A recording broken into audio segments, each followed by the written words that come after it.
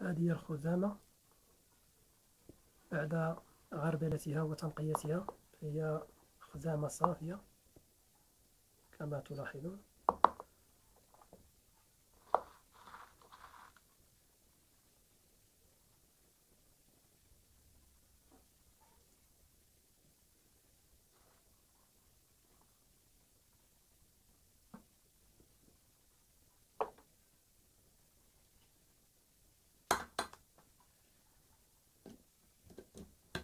أضعها في هذا الغلاية.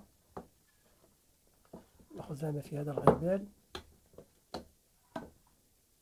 حتى أحصل على مشروب الخزامة ثم أضيف الماء المغلي.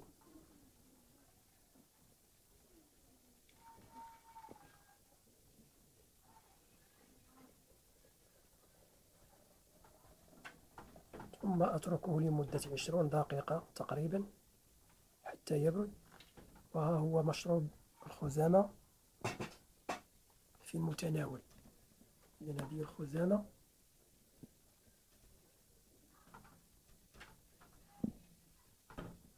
أضفنا إليها الماء المغلي. نتركه يبرد. وها هو مشروب الخزامة الذي ذكرنا فوائده الكثيرة.